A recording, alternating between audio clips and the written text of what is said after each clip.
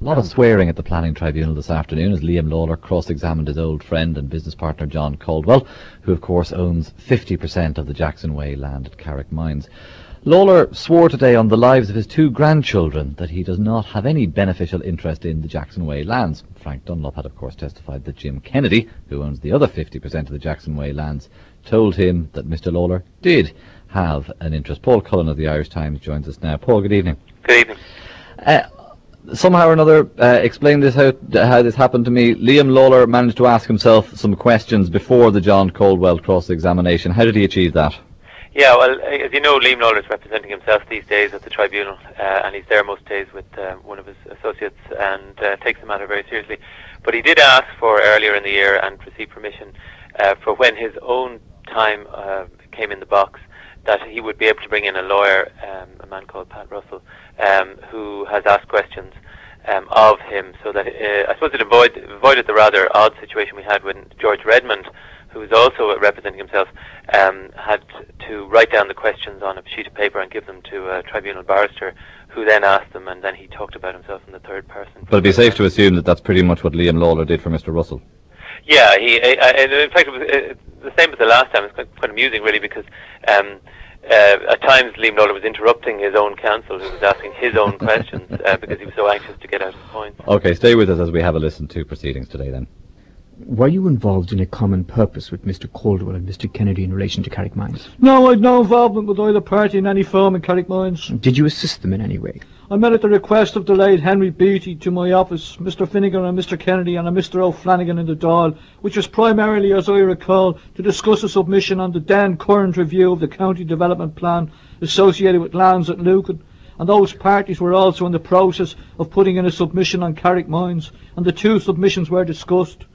Mr. Finnegan, who was primarily acting on the Lucan lands, can't recall the Carrick Mine lands being discussed at the meeting in the Dáil. But I don't have any detailed recollection of it being discussed, other than there were documents discussed for about 15 or 20 minutes, and that was the sum import of my involvement. And that would have happened repeatedly during the process of the review of the county development plan, with both applicants and objectors, that you met people, you heard what they wanted to do. In this instance, I had a direct interest in the Lucan submission but I had no involvement to any degree on the Carrick Mines issues vis-a-vis its failure or success or the detail of same. How many times did you meet Mr. Caldwell and Mr. Kennedy in relation to the Carrick Mines lands? That was the only occasion ever. I never ever met Mr. Caldwell concerning the Carrick Mines lands. Did you ever visit the site at Carrick Mines at any stage? No. Ever? Never. No, I don't know where.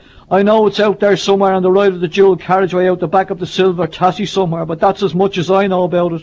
Were you involved in the zoning application directly or indirectly? No, only that submission went in in due course and was the basis of the applicants making proposals to the elected members, of which I was not one. Now, there has been a suggestion that you had a close connection with Mr. Kennedy and Mr. Caldwell.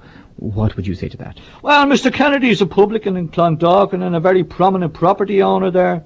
I had a constituency office across the street. I was there every Saturday morning and you invariably go over maybe for a bowl of soup or something at the lunchtime, and then go off and do walkabout for further advice centres throughout the constituency. And Mr. Kennedy lived in Lucan. He was an auctioneer practising with an office in Lismore House, and he was then involved in some format in the construction of two or three hundred houses in Western Park. He represented the Blake family, the Rogers family, the Stassen family. So Mr. Kennedy was a very was very prominent in the area. His children went to the same school as mine. We knew each other on that basis. But you had no commercial involvement with him in these lands? Well, in the Lucan situation, there was a commercial involvement. The detail of his involvement, shareholdings, ownerships, I was never fully familiar with the detail of it, as is indicated here in the Carrick Mines. Uh, Mr. Kennedy obviously keeps his cards very close to his chest, so I was never fully familiar. And I was at the outset of the opinion that he was acting for the Blake family when Superquinn were constructing the centre on former farmlands of theirs and adjacent to my lands. So in that way, I was very familiar with Mr. Kennedy, and Mr. Caldwell was the solicitor that I used in the food processing sector and in other general legal matters. Did you make any financial contribution to the acquisition of Carrick Mines? No. Did you receive any benefit in kind for advice you gave Mr. Caldwell or Mr. Kennedy? Absolutely not. Never ever arose. The tribunal has been told by Mr. Dunlop that he believed you had an interest in the lands. Why would he believe that? Ah, well, Mr. Dunlop says more than his prayers, unfortunately. I don't know why. So Mr. Dunlop is incorrect. He's lying through his teeth. Absolutely. He's in a situation where he started off by suggesting that the only time Mr. Kennedy ever mentioned that I had an interest was after a vote, where I had voted against the interests of the owners of these lands. He went on then to say to Mr. Gallagher that it was really a passing interest. It wasn't a commercial interest. I mean, you could have an interest in assisting somebody. He told Mr. Hanratty that he had deep suspicions. But in summary, reject his suggestions. Wholly rejected. And he never ever spoke to me. And he spoke to me about everything else in the world. His own aspirations, his political ambitions, his family, everything. But he never ever mentioned Carrickmines to me in the context of this matter. So any suggestion that you had a financial or other interest in these lands, what do you say to that? Just say that it's just untrue under oath. And did you assist with the expectation of sharing the profits? No. And to this day, from what you read in the newspaper, nobody has made any profits. And it's now 2004, and we're talking way back then. So absolutely no expectation. Do you expect today to make any money out of this? Absolutely not. I've no interest in it, good, bad, or indifferent. Have you ever had any documentation put you to the contrary? No, not that I'm aware of. Never seen anything to justify this matter. What do you say to the proposition that as a matter of probability you had a commercial involvement in these lands? Well, I just say that Mr. O'Neill could have been writing the headline in the Sunday Tribune because they have wrote on probability for the last.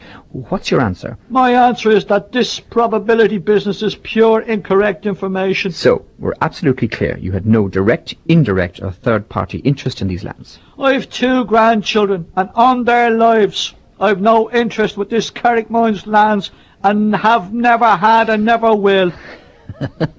On his grandchildren's lives. That's a little bit unfair. He should have sworn on his own children's lives first before somebody else's, Paul. Yeah, he, I think he's two grandchildren, uh, but uh, quite recent arrivals. But uh, that was a soundbite that uh, uh, Resonated around the country Yeah, exactly. It wound up a day of denials by, by Mr. Lawlor, Liam Lawlor saying I have nothing to do with, it, which of course he said all along and said voluminously, and John Caldwell uh, agreeing that Liam Lawlor could have nothing. You, you wonder why. Of course, Frank Dunlop obviously doesn't doesn't agree with that. But I, I know out in the real world, outside of tribunals, that the 13 million euro in compensation that has been agreed for the owners of the lands at Carrick Mines hasn't been paid over and won't be paid over until such time as Jim Kennedy hands over the title deeds. Now, w- would the names on those deeds contain any surprises? Do you think?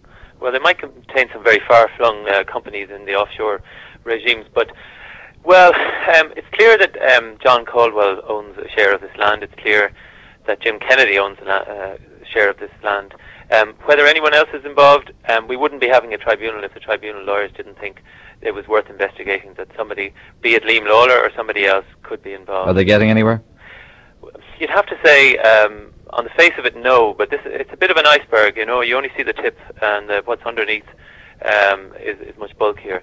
Um, they're going to go into um, a series of new modules shortly, um, all of which are land deals involving Liam Lawlor, John Caldwell, and Jim Kennedy. Let's not forget, though, icebergs sink ships. Uh, that's right, and but, but uh, the Titanic was launched and, and got sunk within a week or two, didn't it? But this one seems to last for years before the big white bulk looms Paul, up. Paul, Paul Cullen of the Irish Times. Thank you.